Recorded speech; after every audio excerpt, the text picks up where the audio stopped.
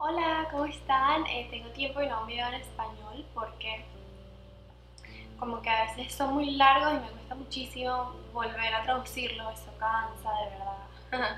Pero hoy sí va a ser video en español porque me parece que es algo súper importante, son unos tips que les quiero dar para prepararse antes de su graduación para conseguir un trabajo. Eh, hablo de mi propia experiencia, recientemente recibí mi diploma por correo y me hizo dar cuenta del trabajo que pasé en los primeros meses del año para conseguir un trabajo. So, quería compartir con ustedes, los que están a punto de graduarse, que tienen tiempo para prepararse para cuando se gradúen ya tener un trabajo. Así se evitan ese estrés que yo pasé para conseguirlo. Lo primero que es muy importante es su currículum, hoja de vida, resume, como le digan. Este, yo diseñé el mío porque siento que es muy importante mantener tu punto de vista y tu personalidad en ese papel porque es el que te va a representar profesionalmente en entrevistas, por email, donde sea que lo mandes. So, si tú te sientes que lo puedes hacer, que lo puedes diseñar tú mismo, eh, recomiendo InDesign o Photoshop y si sientes que no puedes, pues hay un website que se llama behance.net en el que dan templates de resumes que tú solo tienes que llenar tu información y entonces este Behance es muy bueno, tiene unos templates muy cool, dependiendo de tu personalidad puedes elegirlos, bajarlos y ponerle tu info y así.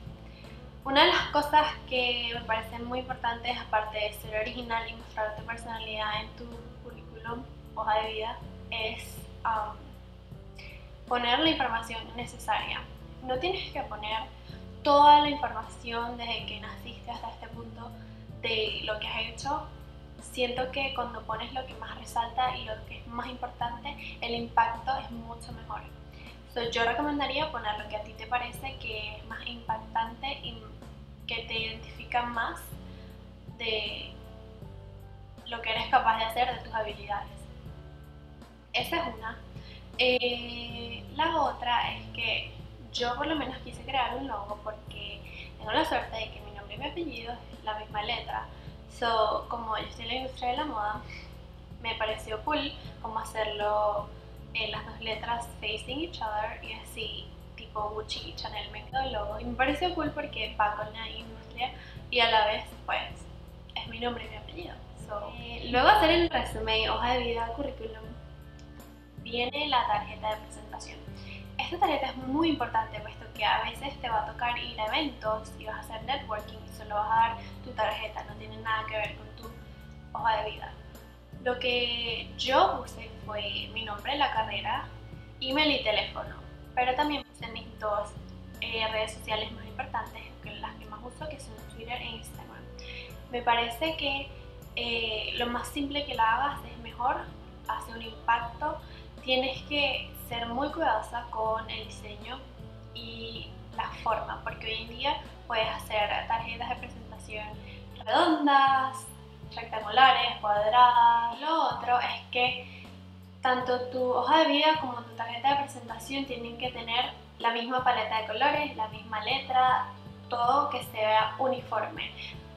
Porque si a un punto lo llegas a entregar todos juntos, ¿sabes? Es lo mismo tiene que ver con lo que estás entregando.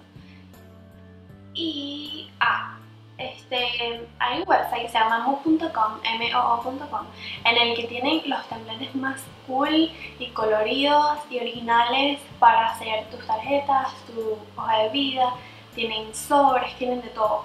Y si no estás seguro, porque yo soy muy picky con lo que es la calidad del papel, ellos te mandan los samples de los papeles en los que ellos imprimen elegir luego de ahí en el que lo quieras imprimir online.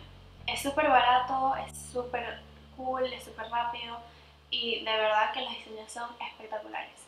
So, yo me iría por eso. Por si no sientes que lo quieres diseñar tú o y si a la vez lo quieres imprimir también, ellos también solamente te lo imprimen si tú tienes el diseño.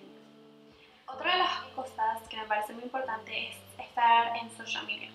Más importante en LinkedIn si estás buscando trabajo, si hay cierta compañía que te gusta whatever. LinkedIn es como el Facebook para profesionales.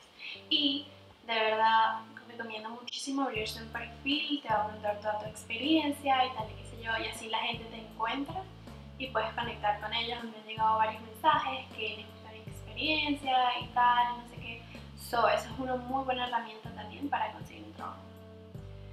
La otra y pues última es aplicar a los trabajos.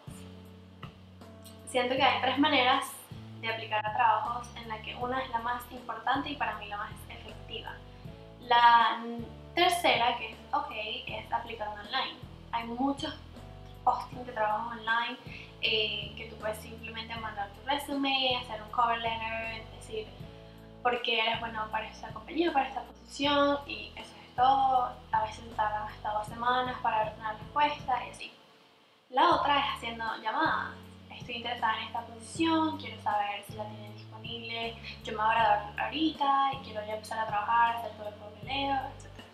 Y para mí la más importante es ir personalmente a entregar tu resumen a esta compañía o persona para la que tú quieres trabajar. Esa para mí es la que me funcionó y la más importante, puesto que la gente cuando te ve y te conoce es mucho más fácil que solo verlo por una pantalla o solo por una llamada.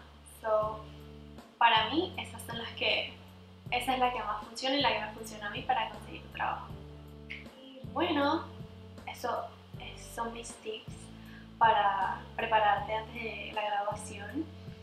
Me parece que me hubiese gustado que alguien me hubiese dicho esos tips antes de graduarme, así hubiese conseguido trabajo mucho más temprano que haber esperado el último día de clases y empezar a buscar y se tardó un poco.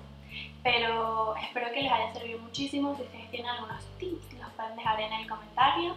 Eh, les pueden dar me gusta, no me gusta, pueden suscribir, comentar. Gracias por ver, nos vemos pronto y espero que les haya gustado el video.